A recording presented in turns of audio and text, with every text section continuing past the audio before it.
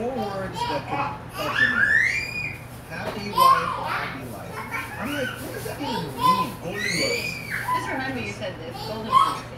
So, the reason I called you the biscuit today was to... Oh, What's an announcement? This is going to be a shocker for me as well. I'm going ahead with surrogacy. I like that. It's like very That's good news, no? That's a baby, man. That's a baby. We are?